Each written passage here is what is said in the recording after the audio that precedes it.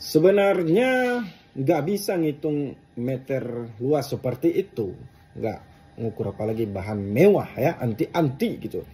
Nah sebenarnya ini susah sih dipahami bagi orang-orang awam, tukang-tukang atau yang tidak uh, mengandung ilmu manajemen konstruksi. Ya, sebenarnya ini isi rahasia. Tetapi tak apa, saya jelaskan, saya bagi tahu kepada semua, termasuk warga sudut sipil, tentang dasar dari mana sih harga 4 juta per meter, 5 juta, 7 juta, sampai 2, 10 juta mungkin per meter uh, luas pada saat bangun rumah. Ya, ini, ini, ini.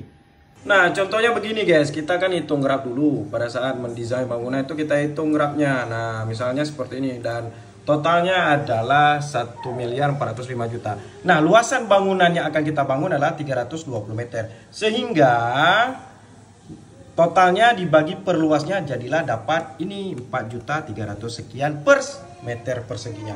Nah, itulah dasarnya. Nah, gimana warga udah paham belum? ya semua itu ada dasarnya. Jadi bukan cuman asal cuap-cuap. Ada perhitungan teknisnya. Semoga bermanfaat. Salam sudi sipil.